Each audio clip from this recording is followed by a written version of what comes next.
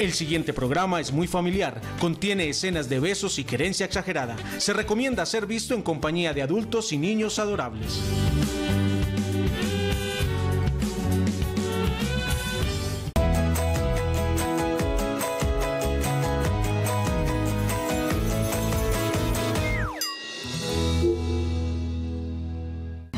Nos unimos en un arrullo para abrir juntos un camino. Yo te ayudo a empezar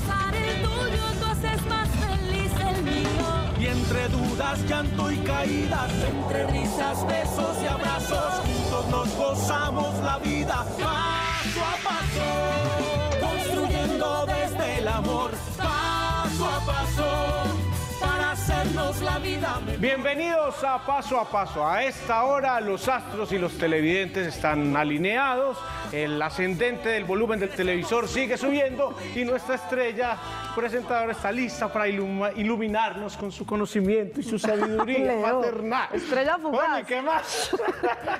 Hoy es Venus, o viernes, pues. Sí, señor. mismo.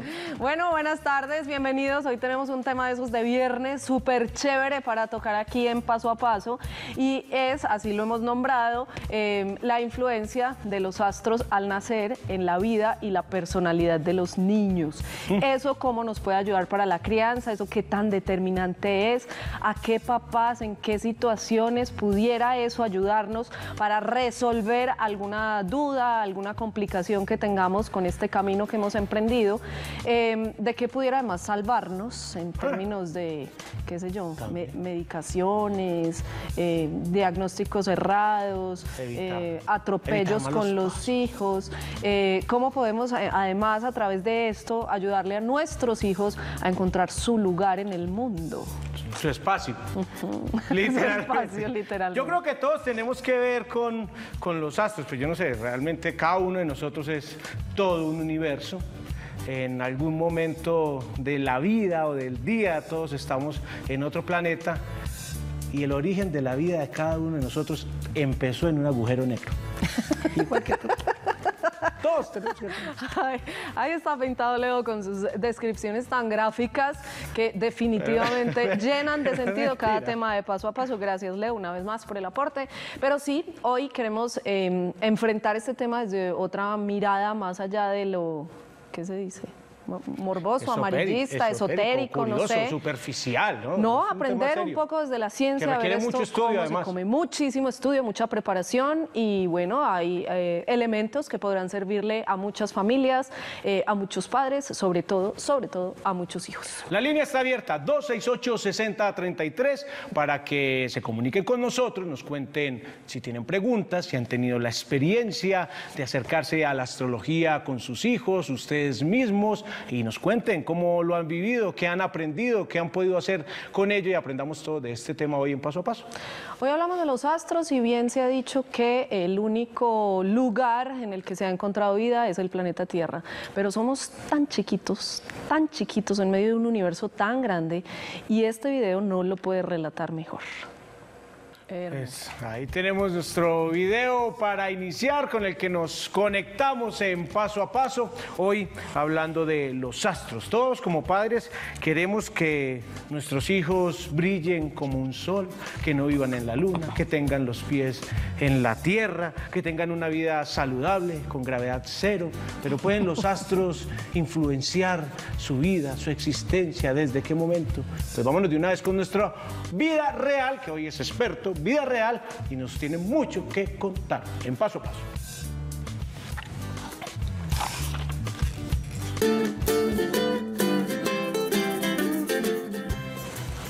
Andrea Betancourt nos acompaña hoy en nuestro set. Ella es, además de economista, diseñadora de modas, es astróloga evolutiva y lo más importante para nosotros, mamá de Elías. Hola, ¿cómo Bienvenida, estás? ¿cómo estás? Bien, ¿y tú, Leo? Muy bien, Hola, Andrea, Moni. Hola. ¿cómo estás? Bienvenida. Qué rico tenerte acá. Es uno de esos temas que causa inevitablemente mucha curiosidad, pero decía yo ahora, eh, también hay que cogerlo con pinzas y darle una mirada un poco más allá de la curiosidad para tomarla como herramienta de crianza, que es nuestro gran propósito en este set de paso a paso. Así que bienvenida. Hoy primero Leo dijo, vas a hacer nuestra vida real y lo primero que queremos saber con respecto a tu vida real es que hace una economista dedicada a los astros. Bueno, Em, yo empecé estudiando economía, a ver, empecemos más, a fun- más, más atrás. A los 15 años o a los 14, yo me acuerdo que ahorré para hacerme una carta astral. Y me encantaba la astrología. Salí del colegio eh, y mi mamá tenía un libro de Linda Goodman que se llamaba eh, Los signos del zodiaco. Y yo con ese libro andaba para todos lados. Empecé a estudiar economía, pero no era lo mío. Me salí en la mitad del- de la carrera. La mayoría de... eh, compañeros andaban con libros de economía, yo andaba con el libro de Linda Goodman. Eh, salgo a estudiar eh, diseño de modas, eh, salgo de diseño de modas, trabajaba en una empresa muy grande, era la directora de producto y eh, empecé como alguien me dijo que había una tarotista muy famosa en Medellín que yo por qué no iba. Me pareció chévere, yo no era mucho de tarot, era mucho de cartas astrales y me fui para donde la tarotista. Casualmente ella me pide la hora exacta de nacimiento cuando yo pido la cita, entonces ella sabía algo de astrología y algo de tarot. Llego a la carta a la cita con ella, dura muy poquito y ella me dice varias cosas, entre ellas dos muy difíciles y me dice, tú no eres ni economista ni diseñadora de modas y si tú no encuentras tu misión en la vida no te va a ir muy bien y lo más probable es que te dé una enfermedad un poco grave. Tu vida la veo un poco enredada porque no le pides una carta astral, pues porque no pides una cita donde un astróloga de verdad. Me dio cuatro teléfonos. ¿Cuándo yo, viene esa tarotista? Que necesito una cita. Varios. yo después te doy el dato. Ah, Bien. Primero vas donde mí. Ok. Entonces, eh, salgo yo de allá, cojo los cuatro teléfonos, me contesta, no sé si fue la primera, la tercera, pero me contestó alguien que se llama Ángela. Yo llego donde Ángela, ella me abre la carta astral y lo primero que me dice es, tu misión en la vida es ayudarle a la gente y yo no entendía qué era lo que ella me estaba diciendo a mí. Eh, y tú vienes a ser una astróloga. Y yo decía, estas dos señoras se equivocaron, por aquí no es. Pero bueno, yo seguí yendo donde ella porque me conecté con ella, eh, hicimos una muy buena amistad y casi todo, pues casi todo hasta ese momento, porque después salió todo, me empezó a, sal- pues, empezó a suceder las cosas. Me da la enfermedad, me dio una enfermedad autoinmune que se llama colitis ulcerativa. Estuve en un proceso muy grave, pero supremamente grave, eh, porque la úlcera ya medía un metro sesenta centímetros, o sea, lo mismo que mido yo con muchísimas hemorragias y eh, es una enfermedad, como te digo, autoinmune que yo misma había creado. Entonces, en algún momento la enfermedad empieza a bajar, el eh, especialista me dice que si yo quiero ser mamá, así pues en un minuto, y uno que responde sí. Me dijo, bueno, vamos a, hacer un proceso, vamos a empezar un proceso, eh, puede durar un año para buscar ese bebé. Resulta que el bebé eh, apareció a los 15 días, quedé embarazada. O sea, fue supremamente rápido. Y ellos tenían susto porque la enfermedad, cuando son autoinmunes en el embarazo, pueden agudizarse. Resulta que en el primer- Generalmente a uno todas las enfermedades se le agudizan en el embarazo. Entonces, si uno tiene miopía, no ve un. Eh, sí, no, pero, pero en general todo se agudiza durante el embarazo. Bueno, entonces en el primer trimestre el embarazo me sana, se regeneran las células y Elías, que es mi hijo, es como mi milagro, entonces quedo absolutamente sana. Eh, salgo del embarazo y Ángela, mi astróloga, me pregunta, ¿tú quieres estudiar astrología? Y yo estaba ya como en ese proceso de, la, pues, de haberme sanado y yo decía, qué rico no tener un hobby que le requiera a un poquito como de conocimiento de estudio. Y yo le dije, "Ah, listo. Y empecé a estudiar econo- eh, es que economía, empecé a estudiar astrología y aquí estoy. O sea, rápido, historia. más rápido, acá Sí. estoy. Vamos a continuar con la historia. Andrea, vamos a ir a la línea porque está esperándonos ya Diana en el 268-6033, mamá de Kevin y Sofía. Diana, bienvenida paso a paso. ¿Cómo estás? Muy bien, buenas tardes, ¿cómo están ustedes? Muy bien, Diana. ¿Qué edades tienen Kevin y Sofía? Kevin tiene siete y Sofía tiene tres. Perfecto. ¿Tienes alguna pregunta sobre el tema? ¿Has tenido alguna experiencia con los astros? Eh, no, me gustaría saber eh, los actos que tienen para Kevin y Sofía. Muy bien, Diana, muchas gracias. Eh, pues realmente para eso uno necesita bastante información, como algo más detallado, la hora de nacimiento, ¿cierto? De, Sí. de cada uno. Pero como les conté al principio, pues hoy más queremos es transmitir esto como una herramienta de crianza. Vamos a tener al final eh, una especie eh, como de práctica y por supuesto la invitación es hoy a que se conecten con esta experta que nos ayuda porque seguramente nos pasaríamos aquí todo el programa haciendo cartas astrales de todos los televidentes y la idea es trascender un poco más allá eh, de los casos individuales para que podamos ayudar a mucha gente a través de esto que hoy compartimos. Eh, sin embargo, deja allá adentro eh, eh, como la hora de nacimiento de Kevin y y de Sofía, el día y la hora. ¿Sí? Sí. Y miramos a ver si nos alcanza el tiempo para que podamos hacer algo con ellos. Perdón, día, hora y año. Día, ¿Y hora qué y ciudad nació? Y la ciudad en la que nació. Perfecto. Vero le toma ahí los daticos o quien esté ahí en la línea. Y muchísimas gracias. Nos seguimos conectando con esta vida real. Y eh, cuando contactamos a la experta, que en este momento es vida real, em, nos decía, es muy difícil tener una vida real. ¿Por qué? ¿Qué, qué se entera uno a través de esto eh, que pueda ser difícil de contar, eh, de compartir? A ver, la carta astral es una foto del cielo en el momento en que naciste. Y ahí se alcanzan a ver cuáles son tus facilidades, talentos, tus emociones. Se pueden ver pues como la radiografía de una persona. Entonces es algo supremamente personal, supremamente íntimo. Entonces, eh, la mayoría de gente que entra a consultar, lo primero que se le dice es que la información es absolutamente confidencial, porque es abrir el libro de tu vida. Entonces, eh, es difícil invitar que una persona venga a hablar, porque la mayor, no la mayoría, pero yo creo que la gente acude a estos temas cuando está en un momento difícil y tiene que transformar ese momento difícil en una oportunidad de su vida.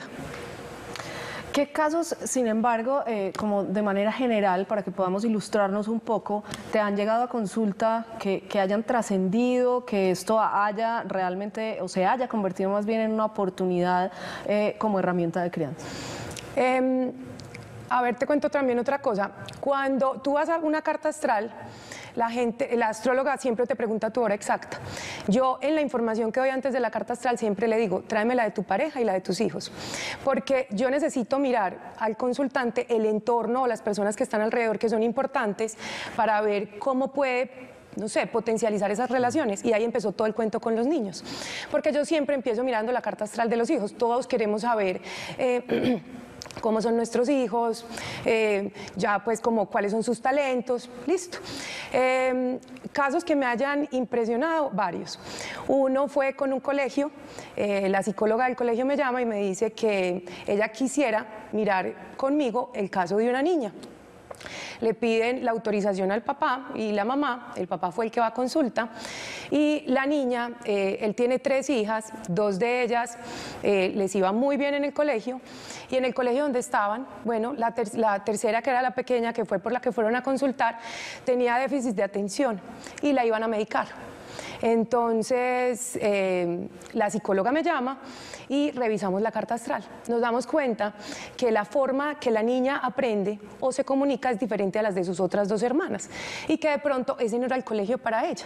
Entonces, hay dos opciones. La medicas o se quedan en ese colegio y la otra opción que yo di es no la mediques, intenta en otro colegio porque la forma de ella aprender es diferente a, no sé, O sea, es- cambien de método. Cambien de método, exacto. La cambian, hoy la niña está perfecta, sin ningún tipo de medicación y es feliz en su colegio y va a la par. Porque también es muy estresante para los niños cuando están encima, no puede, no puede, no puede. Sandra, que no en todos los casos es necesario tener tampoco la, la carta astral de, de los padres, de los hermanos. O siempre es mejor tener esa conexión de todos. Claro, porque, por ejemplo, a ver, ¿tú cuántos hijos tienes? Dos. Listo. Son totalmente diferentes las cartas astrales. Esas dos seres son un universo totalmente diferente. Uno se comunica de una forma, el otro tiene unas emociones diferentes. En la carta astral se ve cómo es la relación o, sí, del niño con sus padres. Entonces, si hay una mala relación o podría llegar a haber una mala relación, qué bueno uno como mamá saber en qué se tiene que enfocar para que esa relación crezca. Entonces, la carta astral, la gente me dice, es que usted lee el futuro, más que la parte predictiva es cómo yo, por eso hablo de astrología evolutiva o astro, sí. eh, porque es cómo podemos evolucionar o transformar la carta astral, porque eso no está escrito en piedra. Eh, no es que exactamente vaya a salir, sino que la carta astral es una herramienta de navegación para yo saber qué camino cojo y qué tengo que venir a sanar, aprender y a trabajar. Para saber qué camino cojo o por qué, camino, camino cojo. Sí, sí, también. Hay muchas fallas en el camino que uno Sí. puede solucionar. Exacto. Eh, eso me parece clave porque por- generalmente cuando te buscan por problemas eh, con la crianza, con los hijos, algo pasa en las familias, eh, hay un común denominador que es, que es lo que más se dificulta cu- en cuanto a estos temas que la carta les ayuda a resolver o a encontrar la ruta. El- común denominador es que a veces nosotros como papás no entendemos a nuestros hijos. Y así uno tenga hijos eh, biológicos, hablemos por ejemplo de ese caso que uno dice es que no se parece a mí, o es muy distinto, es que somos totalmente diferentes, o porque el uno es diferente al otro. Entonces la carta astral, el común denominador son papás felices que entienden ya a su hijo y van a llegar a, no sé, a comunicarse, a... Eh, trabajar de una forma diferente para que eh, podamos potencializar todos los talentos de ese niño. Es decir, que uno debería acudir, digamos, a estas herramientas eh, y más adelante hablamos si esto es cuestión de creer o no creer, o, no importa si cree o no, para allá va. Eh, uno debería acudir a estas herramientas antes de que haya algún problema.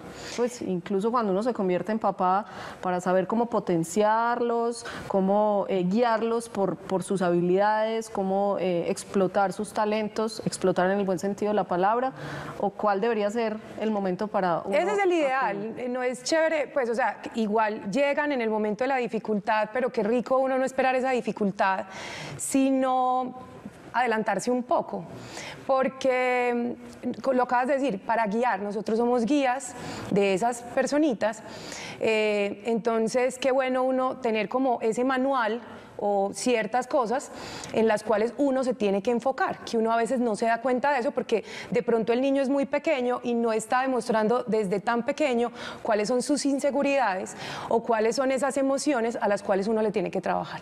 Generalmente a estos casos que llegan a consulta se les hace seguimiento o por lo general la gente va, tiene su carta astral y, navegue como, como pueda, ahí tiene sus herramientas y hágale.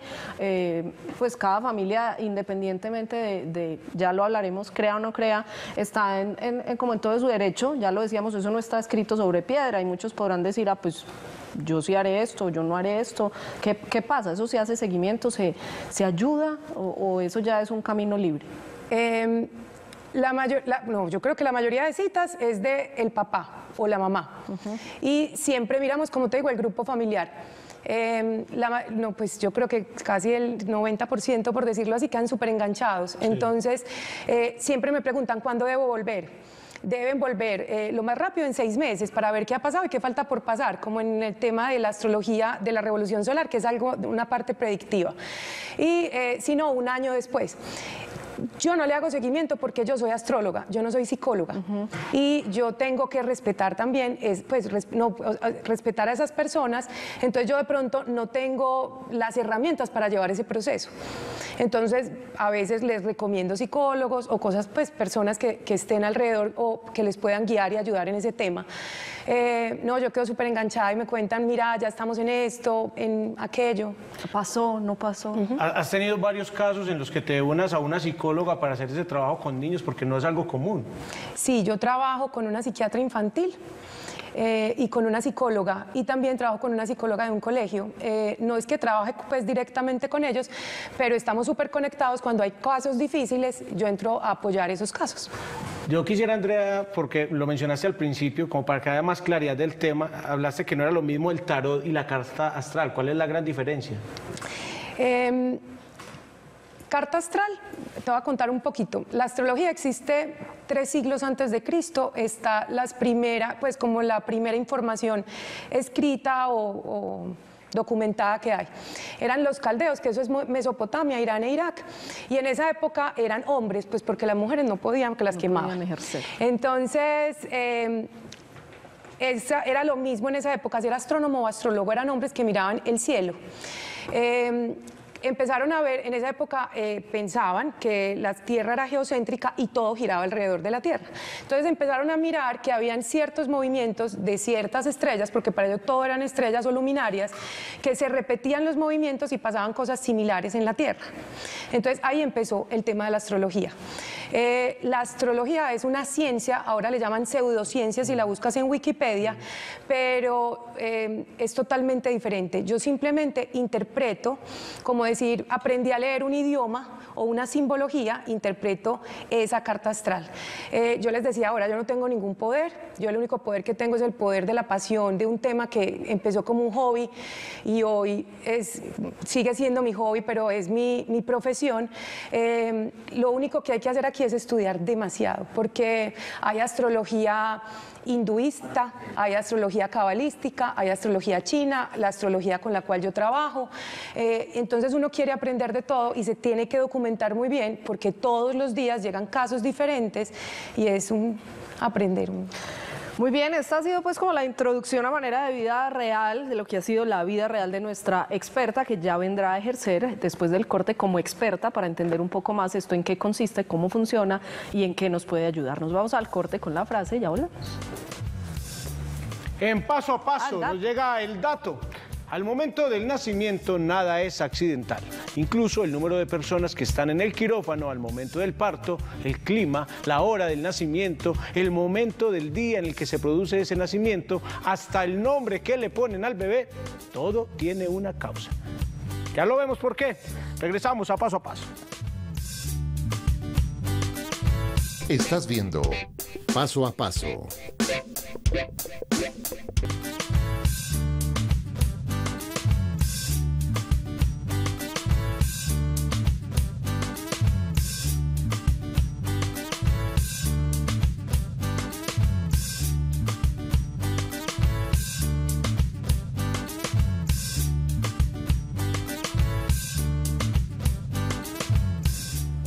Samuel y Emma están en nuestro mamarazzi de paso a paso. Les recuerdo que quienes enviaron sus fotografías desde ayer a nuestro paso a paso arroba telemedellín.tv están participando en la entrega de un cupo para el taller de disciplina positiva que se realizará mañana eh, por parte de Carolina. El ABC de la familia. que Vamos será- a hacer algo. Ella nos dio un pase doble para que vaya. Pues quien gane con un acompañante, pero muchas veces, muchas veces quien gana no, no está interesado en llevar acompañante, entonces ese cupo se perdería. Entonces vamos a pedir aquí al poder de los astros que nos den a los ganadores. Eh, vamos a, a- a- a premiar, pues a escoger dos números. Va fijo el primero y dependiendo de si el primero decide llevar o no acompañante, entonces llamamos al segundo. Segundo de suplente. Exacto. Pues no, no necesariamente suplente. Si la primera decide ir sola, entonces hay cupo para un segundo. Un segundo. ¿Listo? Entonces, Vale. dos números, Andrea. El primer número, por favor. ¿De qué número a qué Del número? 1 al 71, para ver quién es nuestro cupo fijo para el taller. 63, 63. monta. Y un segundo número, 36. 36. Ay, ay. Eso porque así 63, 36. Ya, ya pero Chance, está ahí chance. consultando la lista y nos da el nombre. Número 63. Carolina. Viana. Ella es la primera ganadora absoluta y tiene el poder de decidir si va sola o acompañada. Si decide ir sola, iría Caterine Ibarra. Uy, casi Ibargüen. Caterine Ibarra sería la segunda ganadora. Le, eh, por supuesto, le estaremos comunicando una vez nuestra primera ganadora responda. Ahora sí, manos a la obra. Ya eh, resolvimos, digamos, como la primera pregunta del experto, que es qué es la astrología. Entonces, eh, resolvamos ahora esto para qué nos puede ayudar a los padres en función concretamente de la crianza de los hijos. ¿Cómo nos puede orientar? Muchas cosas. Uno, entender cómo se comunica esa persona, ese ser tan importante o protagonista de nuestras vidas y cómo, eh, sabiendo cómo se comunica, nosotros cómo nos podemos comunicar con ellos para tener una comunicación asertiva. La forma de que él aprende. Porque también yo pienso que para los niños es muy frustrante, eh, a veces estamos muy encasillados en formas de aprender y aprende de una forma diferente, entonces saber cómo es eh, eh, esa forma del que él aprende, pues que es repetidera. Eh, lo otro, cómo él viene configurado con sus emociones. Entonces, también entender esa parte emocional del niño.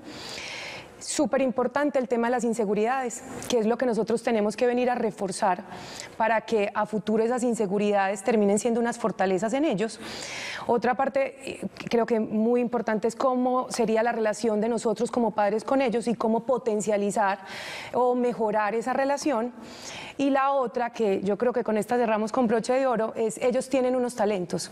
Es porque esperar hasta el final para saber qué talentos son, o no al final, sino muy adelante, sino desde pequeños, cuáles son esos talentos y cómo podemos ayudar a que sean totalmente Caso desarrollados. concreto que no hubieras tenido que esperar hasta los 35. Sí, exacto. Exactamente. Y eso cuando, digamos, ya tenemos la información, ya nacieron, ya sabemos. El dato nos decía que todo tiene que ver en, en esa conexión, hasta el nombre. Uno puede desde el nombre ayudarle a los hijos con los astros. No sé si uno lo pone Big Bang Darío, por ejemplo, Júpiter Albeiro. Big Bang Darío. ¿Para qué? ¿Cuál? Big Bang Darío, Júpiter, Galaxia María, y para colaborarle. Lo del nombre no... En astrología eh, no importa el nombre. Eh, simplemente es la hora, la fecha de nacimiento y la ciudad donde nació. Porque no es lo mismo nacer en Medellín que nacer en Madrid. Eh, no es lo mismo, la carta astral cambia cada minuto o eh, va corriendo la rueda zodiacal. No hay una carta astral de una persona igual a otra, Sí, los gemelos. Cambia un minuto que no se ve muy pero aún así son súper distintos. absolutamente diferentes. Porque ahí están los grados de los planetas en el momento del nacimiento. Vamos a la línea. Está Lady con nosotros. Se conecta en el 268-6033, mamá de Dylan. Lady, bienvenida, ¿cómo estás? Hola, muchas gracias. Bien, gracias. ¿Ustedes cómo están? Muy bien, contentos de escucharte, Lady. ¿Conocías de este tema de la astrología? ¿Has tenido contacto con él antes? ¿Alguna inquietud? No, no, no he tenido contacto, pero sé que, que hay algo en el universo, en el mundo, no sé, que, que sí nos hace eh, en su actitud, en, su, en sus talentos, eso sí, porque yo no, yo nací, y yo no sé, yo, pues yo nunca he ido a una escuela de dibujo y yo sé dibujar.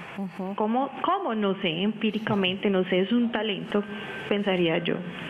Pero me gustaría preguntarle a la experta, Andrea, ¿qué, qué tan factible es la hora, el día del nacimiento para una enfermedad? O sea, mi hijo llegó con una enfermedad que se la descubrieron apenas este año, pero usted lo ve y no parece que tuviera nada, pero por dentro sí hay que estar con cuidado. Hola Lady, ¿cómo estás? Bien, gracias. Mira, sí, en la carta astral, la carta astral tiene, o la rueda zodiaca- zodiacal tiene 12 casas, y hay una casa que es la casa de la salud, que es la casa 6. Y en esa casa se ven ciertas predisposiciones a tener enfermedades o dolencias. Entonces, sí, yo no te pues yo no, o sea, uno cuando ve la carta astral de los, ma- los papás o de los niños, Sí. eh, uno dice que de pronto pueden llegar a sufrir. Eh, ¿Y uno pudiese tomar medidas previas para que eso no ocurra? ¿O si va una enfer- en términos de enfermedad, si le va a dar, le va a dar? Yo pienso que si le va a dar, le va a dar, porque pues, Ujú, Como el caso tuyo. sí. Tampoco Pero estaba muy claro en la carta astral. Tampoco puede uno cambiarse de casa astral, pues hay como cambia de apartamento.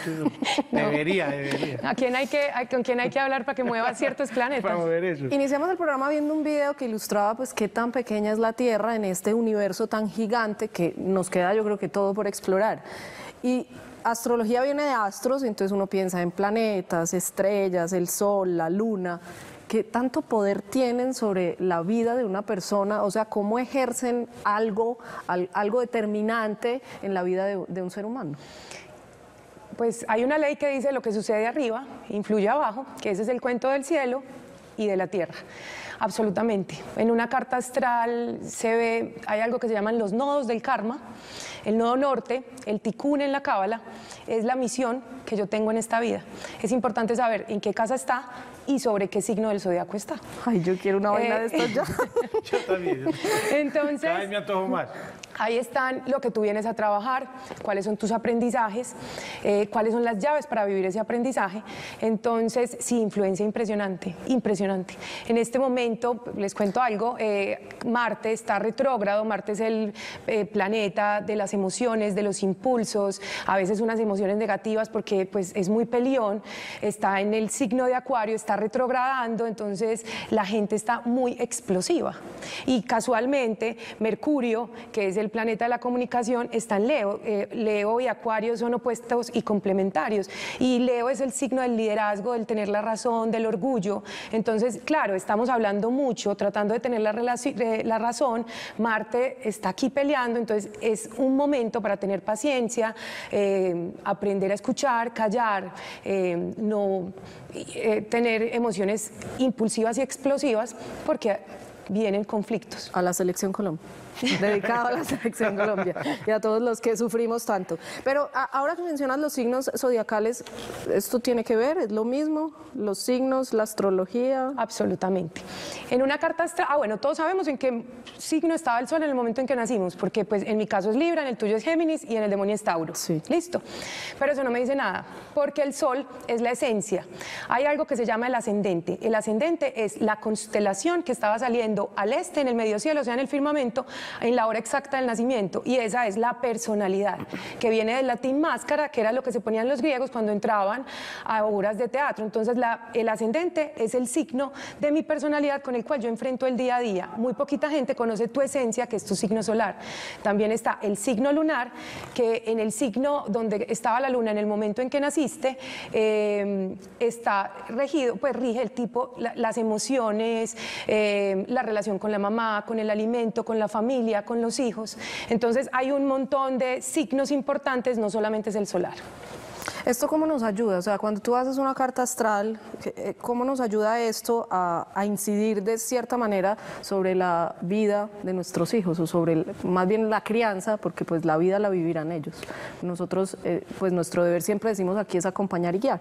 Sí, Y entonces, ¿qué es lo que pasa? ¿Cómo se dividen las casas? ¿Cómo nos traza ese mapa? Bueno, em, ¿para qué sirve con los niños? Para que no nos coja de sorpresa muchas cosas. Te voy a dar un ejemplo, un niño pataletoso. Listo, las pataletas. Eh, hay niños que desde la carta astral sabemos que son niños que vienen con pataletas y tienen tendencia a ser violentos. Así le suene muy duro a la mamá. Pero entonces, ¿qué, le pasa, qué, qué tiene que hacer esa mamá? No se puede enganchar. A ese niño no se le puede gritar, no, o sea, ya no se puede Igualar. igualar o no puede perder la calma o la paciencia con ese niño. Entonces, eh, eh, para eso sirve, para conocer un poquito la personalidad de esos seres que están creciendo y que uno todavía no conoce a fondo. Andrea, ahorita nos hablabas de la historia de, de la astrología, todo, pero ¿cuáles son las bases de, de- de esta ciencia, si puede llamar así, de este estudio? Porque yo me declaro un poco incrédulo en, en estos temas, pero, pero siento curiosidad frente a eso. Esto, como decía Moni ahora, eso es cuestión de, de creer o no creer, no... O pasa, pues siendo una ciencia al que le van a dar, le guardan. Pues a ver, yo te cuento algo, por ejemplo, Espérate, hago un paréntesis porque es que eh, obviamente sabíamos que esto iba a pasar, todo el mundo está pidiendo eh, el teléfono. Eh, ahí abajo está saliendo, que se me acaba de olvidar, yo ya la empecé a seguir, por supuesto, arroba evolutiva astral. Evolutivo Astral con una sola A. Ahí está el Instagram para que le escriban, la contacten. Ya saben que paciencia con las citas, posiblemente que cambien, se alineen los planetas y todo cuadre para que nosotros podamos estar en ese consultorio eh, aprendiendo un poco más de todo esto. Ahora sí, creemos, no creemos, tiene también que ver con el tema de la energía eh, vital que se llama, pues en esto del, del crecer a través de la energía eh, y, y lo que leo pues eh, eh, será la postura de muchos. Pues puede que Sí, muchos yo no lo, digo crean, pero en el papel de muchos. se sí, uno, sientan uno le crea mucha curiosidad, pero ay, yo no sé si creer en eso no. ¿Por qué Si es creer? un tema de fe o no. Eh, a ver, no. Te voy a contar algo. En la antigüedad, en la universidad en Roma, era obligatorio ver medicina, matemática, filosofía, astrología, porque los astrólogos eran guías que guiaban a los líderes para potencializar, evitar y ganar. Entonces, voy a contar un dato curioso que de pronto eh, puede ser controversial, pero se sabía en la astrología que el día que Júpiter, Venus y Saturno se alinearan, iba a haber una gran estrella, esa era la estrella de David, ese día iban a ser un gran profeta, nació Jesucristo, eh, no nace en, diciembre como dice la Biblia, nace en septiembre, por eso los judíos tienen unas fiestas en septiembre, eh, eh, y nació Jesucristo. Los tres reyes magos no eran magos, eran astrónomos o astrólogos que estaban buscando ese gran profeta para ir a conocerlo y alabarlo. Eh, entonces hay casos así. O sea, Eso ya es un sustento histórico. pasa en la vida real. Sí. en la línea estaba María del Pilar, mamá de Manuel. María del Pilar, bienvenida, ¿cómo estás? Abuela de, abuela de Manuel. Ah, abuela de Manuel. Muy bien, María del Pilar. qué temazo, me encanta. Qué bueno que te entusiasme. Y, y- y la forma como ella expone, no, no, no, me, me, pues me es más interesante. Una estrella, traemos una estrella. Sí, yo sí creo. ¿Cuál es tu inquietud, María del Pilar? No, lo que pasa es que Manuel va a cumplir tres añitos. Entonces, eh, ¿qué posibilidades hay? Y de pronto pues, que me den el teléfono, porque apenas acabé como de llegar al programa, entonces no, no he sabido si tiene contacto, pues, para hacerle una carta astral a Manuel. Ok, por ahora estamos poniendo ahí eh, cómo la puedes seguir en redes sociales. Otra vez, arroba. Arroba evolutiva astral. Evolutiva Astral. Y eh, vamos para el próximo corte a pasar el teléfono también por acá. Ahí está en pantalla la red. Para quienes no tengan redes, pues tengan a como a dónde comunicarse. Listo. Eh, nos comprometemos con eso y eh, pues de todas maneras, eh, rico que la puedas tener. ¿Facebook también hay? No, hay Instagram, el teléfono celular. En Instagram me puede mandar un mensaje directo. Se, contesta el mismo día y agendamos las citas. Exacto, porque seguramente a través del mensaje directo, pues obviamente no le van a hacer la carta astral, pero te pueden resolver si tu caso es eh, eh, como factible de resolver a través de lo que ella domina, que es lo que estamos hoy hablando acá. Esto nos ayuda a anticiparnos, decíamos ahora, frente a tal vez la personalidad, los gustos, los talentos de los hijos. Eh, hacer esto... eh, ¿No es condicionarlos un poco a que eso sea por ahí y ellos puedan tomar un rumbo distinto? ¿O si van a tomar un rumbo distinto también aparece en una carta astral? Mm, A ver, como te digo, la carta astral no es eh, sí o sí va a pasar eso. Más que, yo digo que es más guiarlos o acompañarlos desde una perspectiva distinta, teniendo unas herramientas de conocimiento pues más a fondo. Yo creo que uno a los hijos los debe dejar ser. Eh, yo estoy segura que si a mí a los 18 años que salí del colegio me hubieran dicho, venga, estudiemos astrología, pues yo le hubiera dicho, estamos locos, no creo. Yo creo que también todo llega en el momento en que tiene que llegar. Pero, por ejemplo, si un niño desde el nacimiento le vemos unas... eh, no sé, dones musicales o un talento musical, qué rico que ese niño desde pequeño lo metan a clases de música y que su mamá le esté potencializando o sus padres le estén potencial- potencializando todo el tema musical. Y, y, ah, ya que lo mencionas, eh, desde el embarazo, desde que nace, hay No, que esperar a que tiene- hay que nazca, esperar a que qué nazca, fecha, sí. pero desde el día cero ya uno puede ir a... Ya está la hacer- carta astral.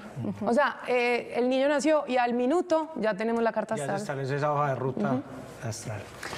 Interesante. Ay, ay, ¿qué? Preparada, datos, datos. Vamos dando los datos. Vamos a ir a la pausa para volver con nuestra práctica y tenemos la frase en paso a paso. Una frase que nos deja nada más y nada menos que el astro cubano José Martí. Los hombres son como los astros, que unos dan luz de sí y otros brillan con la que reciben. Ya regresamos a paso a paso. Estás viendo Paso a Paso.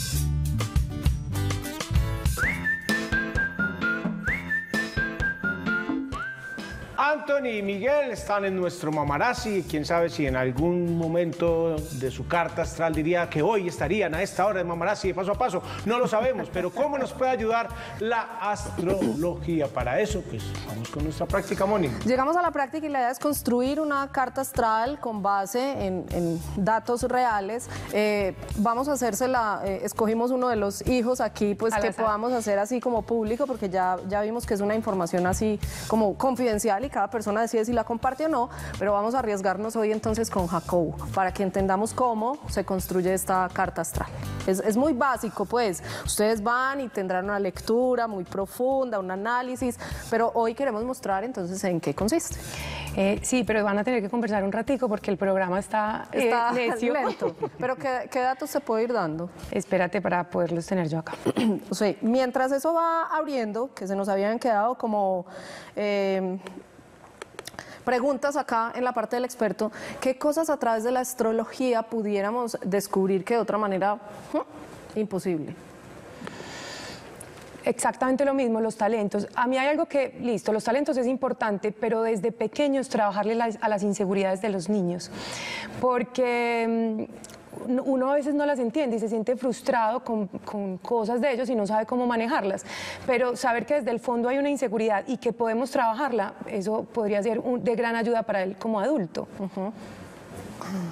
Leo tiene preguntas, es que, Talentos, que siento que la estoy como interrumpiendo ahí mientras... El tema de la salud, que creo que es de lo que más nos, nos preocupa a los padres, también puede, puede verse a través de, de esa carta astral. El tema de la salud se puede ver desde la carta astral, eh, pero por ejemplo, cuando una casa 6 lo rige Aries o tengo a Marte en la casa 1 o en la casa 6, el niño va a sufrir de dolores de cabeza, no tiene nada, si está bien aspectado. Entonces, también es evitarse un montón de exámenes. Pues uno como mamá los hace, pero ya entiende uno que es un niño que tiene propensión, pues, que es propenso, perdón, a tener migrañas. Eh, los que nacen con Mercurio o con Géminis, eh, también en este tema de salud, son niños alérgicos o que tienen, eh, pues son con muchas gripas o con el tema ¿Eso respiratorio. tiene algún porcentaje de error? No, ¿O va a la fija? Va muy a la fija. Muy a la fija. No, hay una pregunta que me parece súper clave, las que nos habían quedado, y es cómo encontrar el equilibrio entre lo que ejercen los astros sobre los hijos y lo que nos corresponde como padres. Es decir, uno va y se hace una carta astral y uno dice, ah, ya, está hecho, ahí ganó la vida, bueno, ya, no tengo que hacer nada. Pero a nosotros, ¿qué nos corresponde hacer para que eso realmente ocurra? Guiarlo, guiarlo con esa información. Por ejemplo, pues voy a dar otro ejemplo. Eh, desde el principio sabemos en la carta astral cómo es el manejo del dinero de las personas. Y hay, pues, eh, hay cartas astrales donde a la gente se les fuma el dinero o son muy gastones. Entonces, por ejemplo, desde, desde pequeños, enseñarles el tema del ahorro, el valor que tienen las cosas. No es el valor del número, es cuánto se demora uno consiguiendo ese dinero, pues qué tiempo invierte uno en, ga- en ganar ese dinero para gastarlo. Eso le Entonces, pasa a muchos adultos también, ¿todavía sirve? Eh, eh, eso iba a mí, a mí me podría caer perfectamente, puede revertir uno eso, puede corregirlo a partir de confirmarlo en su carta astral. Yo lo tengo claro, pero ya si a uno le sale ahí más, dice, "Eh, Para eso es una carta astral. Yo no puedo decir, no, es que en la carta astral dice que yo no tengo talento para las matemáticas, entonces ¿para qué? No, al contrario. Eh, ese es en eso en lo que tenés que trabajar, porque las dificultades se tienen que convertir en tus, no sé, en, tu- en tus mayores cualidades eh, y es a lo que le tenés que trabajar para que a futuro ya sea algo, pues una ventaja tuya. Estamos a tiempo, Moni, de corregirle las matemáticas. No, es que no crean, que yo me le voy a anotar, voy a agendar en pantalla, tenemos el número, porfa, para que lo pongamos de una vez. Eh, no lo habían pedido, lo prometido es deuda, eso sí, nos pide nuestra experta, es un celular, que paciencia, ella maneja todo lo suyo, no hay una secretaria, no hay nadie que le esté ayudando en este momento. Eh, Estamos dando hace- citas para la próxima reencarnación. de- Las citas están para la segunda semana de septiembre. Me estoy haciendo contratar eh, como ayudante, entonces nos tienen paciencia, por favor, Todo para el que mundo, agendemos las citas. si alguien te cancela, hay una lista, todo el mundo está esperando cancelaciones, todo el mundo la necesita, me dicen es urgente, pero pues... Todas son urgentes. Todas son urgentes, pero yo soy súper respetuosa porque hay gente esperando, o sea, tú esperas dos meses esa cita, entonces hay que tener paciencia. ¿Me cargo? Estamos en eso, sí. Yo no sé qué pasó. Mercurio empieza hoy como con una sombrita retrógrada y yo creo que es eso. sí, eh, que, es que no sé qué hacer. Mercurio no tiene esperamos sí, pero a que cargue, que... si podemos ir explicando entonces eh, como de qué se compone una carta astral. Bueno, una carta astral se compone de 12 casas. Cada casa es eh, un aspecto diferente de la vida, donde caben todos los aspectos en 12 casas. ¿Qué son cuáles? ¿Podemos mencionarlos? De la 1 a la 12. ¿Pero qué aspectos? En la casa 1 uno ah, se ve el ascendente, la personalidad, las eh, características físicas eh, y habla mucho del tema del liderazgo. La casa dos es dinero, cómo lo vengo a ganar, cómo lo invierto y cómo es mi relación con el dinero. La casa tres... De mi uno a la tres hay un toga. la tres... A mí me embarcaron la casa dos ya. la casa tres eh, me habla de los hermanos, la comunicación, el aprendizaje, los estudios y los desplazamientos cortos o dentro del país. Es la casa del comercio, pues com- comercial es cómo vender y cómo me vendo. La casa 4 es la casa de la familia, de la mamá y del país natal. La casa 5 es la casa de los hijos, de, de la creatividad, donde empieza el romance, de los juegos financieros, de la creatividad y también de la pedagogía. La casa 6 es la casa de la salud, del trabajo, de las mascotas. La casa 7 es la casa social, cómo me ve la sociedad. O pues afuera es la casa de la justicia, de las sociedades, sociedad conyugal, o sea, matrimonio, y sociedades que yo vengo a tener en esta vida. La casa 7, 8 se llama la casa de la crisis, muerte y transformación, porque son las grandes transformaciones.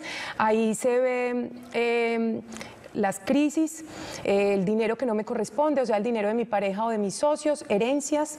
Ahí también se ve el tema de la sexualidad y es una casa esotérica, o sea, las personas que tienen dones esotéricos. La casa 9 es la casa de toda mi relación con países lejanos.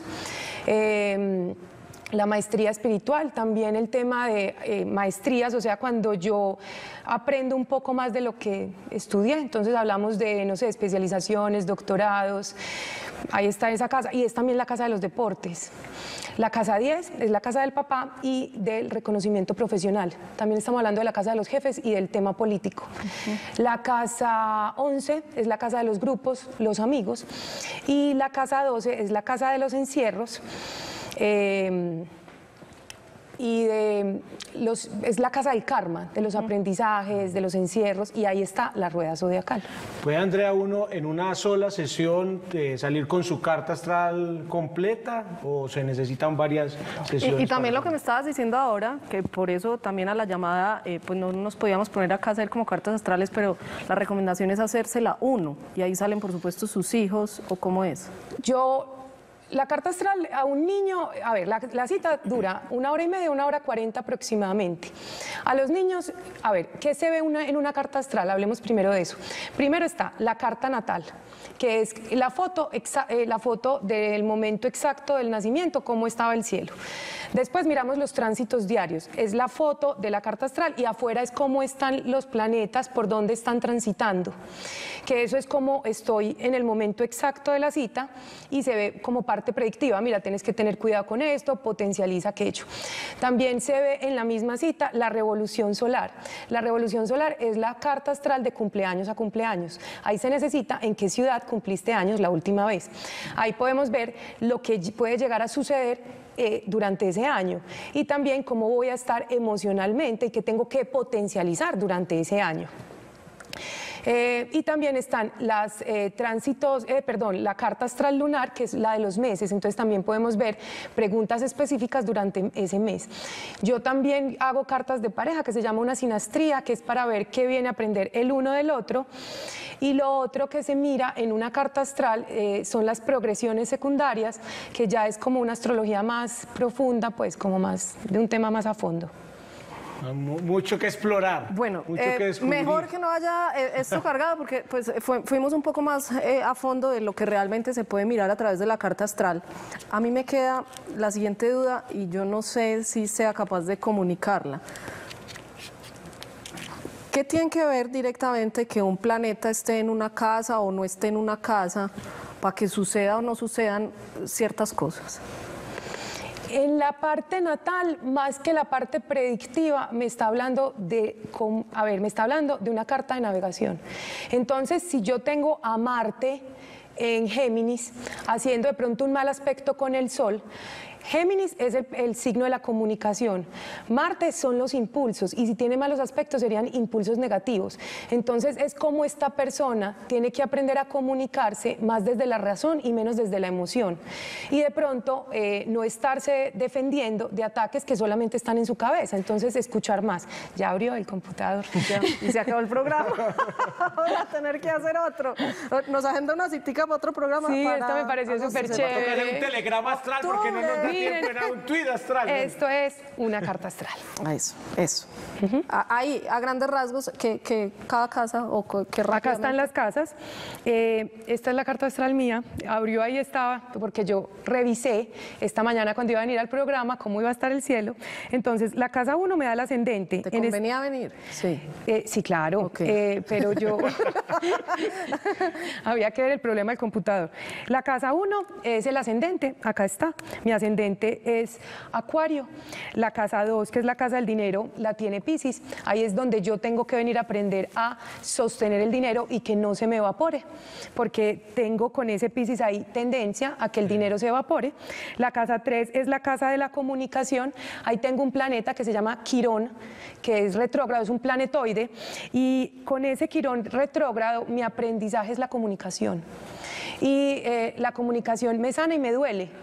Eh, y tengo que aprender a defender mis puntos de vista, porque ten- tengo tendencia a darle el, el punto al otro para no engancharme en discusiones. Eh, la casa 4 de la mamá me la rige Tauro. La casa 5 me la está rigiendo Géminis, mi creatividad va mucho del hablar, hoy soy conferencista y trabajo mucho desde la palabra, entonces ahí estamos hablando de eso. Aquí ya están haciendo porras. Otro programa con ella. Tocó agendarla porque se nos nos toca, acabó se el nos tiempo, acabó el pero tiempo. así es más o menos la lectura, obviamente muy en profundidad, lo cual nos ubica, nos eh, pone de frente un panorama con lo que todos eh, a veces tenemos tanto susto como papás, que ir a hacer en un futuro de ellos. Es nuestro gran temor, ¿cierto? Y, y más que predecir el futuro, es la carta de navegación. Esto ha sido genial, yo creo que a todos nos ha causado muchísima curiosidad y bueno, si sirve además como herramienta para que ellos sean más felices, bienvenida sea, muchísimas gracias. Gracias a ustedes y súper bueno que se dañó el computador porque me vuelvan a invitar. Hay que hacerle la carta astral Ella con la lo fecha de planeó. fabricación del computador. A ver por qué no Saben funcionó. que todo fue planeado. Sí, sí. Nos Muchas vemos gracias. el próximo lunes en Paso a Paso con otro tema interesante.